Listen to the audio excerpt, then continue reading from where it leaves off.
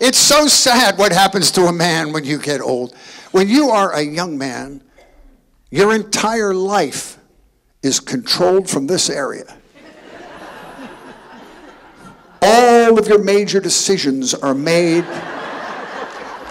from this general area. Then you become an old man. And your entire life is controlled from this area. All of your major decisions are made from this area, but for a completely different reason. When you're a young man, it's the bedroom. When you're an old man, it's the bathroom. But the symptoms are identical. You have strong urges. You have thoughts about doing it on the average once every three and a half minutes.